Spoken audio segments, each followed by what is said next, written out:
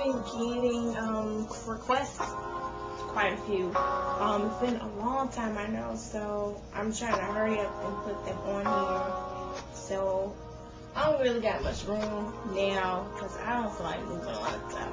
So I'm gonna do what I can with this little bit of